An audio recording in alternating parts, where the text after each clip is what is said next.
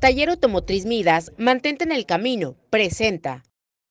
Hola, ¿qué tal Araceli, amigos de Abaco Noticias? Buenas tardes. Ahora en la sección deportiva.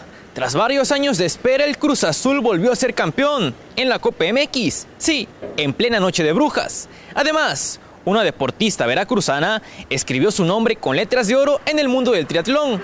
A continuación, vayamos a la siguiente información.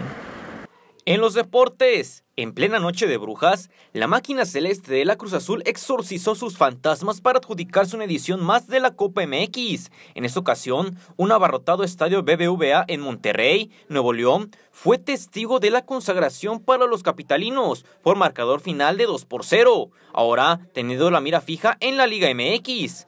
Al minuto 34 comenzó la orquesta celeste, al anotar cortesía de Elías Hernández, y a pesar de la hegemonía de los regios, fueron de nuevo a cuenta los de la capital quienes anotaron un gol definitivo al 52 de la parte complementaria. Con este triunfo, Cruz Azul obtiene su cuarta Copa MX, mientras que los regios siguen con la maldición de su estadio. Además, con poco más de cuatro décadas vividas, Gabriela García Taboada, triatleta veracruzana, logró escribir su nombre con letras de oro en la historia del deporte del estado, al convertirse en la primera mujer jarocha en participar y terminar el Ironman de Kona celebrado en Hawái. Dicho certamen es considerado el más antiguo del triatlón en el mundo.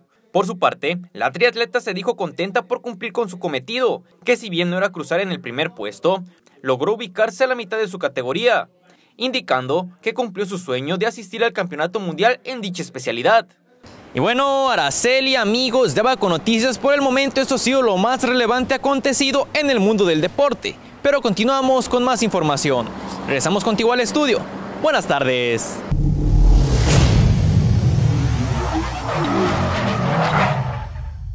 Taller Automotriz Midas, mantente en el camino, presentó.